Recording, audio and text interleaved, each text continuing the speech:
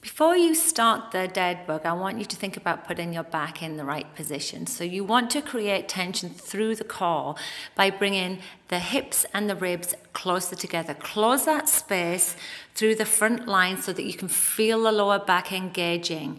You want a slight anterior tilt on the body. And now when you move through the exercise, think about doing a couple of things Drive those handles apart on the ultimate sandbag. Feel the lats engage and the scapulas retract. You should feel as though the shoulder blades are pulling down the back, as though you're popping them in the back pocket of your jeans. As you push forward on the band, can you see that my heels are flexed? I'm creating um, some tension through the back line of my body, my posterior chain, and my hamstrings and my glutes are working hard here too. So even though I'm lying down, everything's working.